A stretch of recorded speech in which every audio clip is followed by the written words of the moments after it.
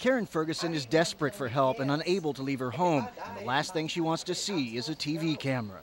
I would never, never bring myself down to go on the news looking like this and for my coworkers and, and people that love me so to know how I'd much rather they heard of a cure or how good I'm doing but not to be like this. It's hard on a family. Ferguson estimates she weighs 700 pounds. She says it's because of her diabetes. Several years ago, at around 300 pounds, she had open heart surgery. I didn't give up.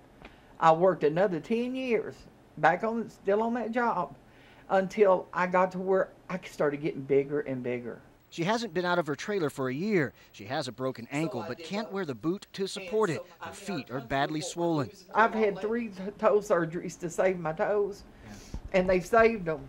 Ferguson needs people to help get her to her portable toilet, which is only two steps from her chair. Ferguson says she's been turned down by nursing homes who claim problems with Medicare. Now she fears she'll just lie here, unable to move, her bed sores festering, and her body deteriorating. That's the worst thing I could ever hear imagine. Because why would it need to be that way? If there's not a cure, you know what I'm saying? Don't just let somebody lay there and die. So I've asked them, I needed a rehabilitation, but it's it, there's too many uh, red tapes. But then when I, it all boiled down to it, it wasn't red tape, it's my size. Ferguson says she fights her fear with faith, but I don't look in the mirror at all, but I don't see a healthy person here.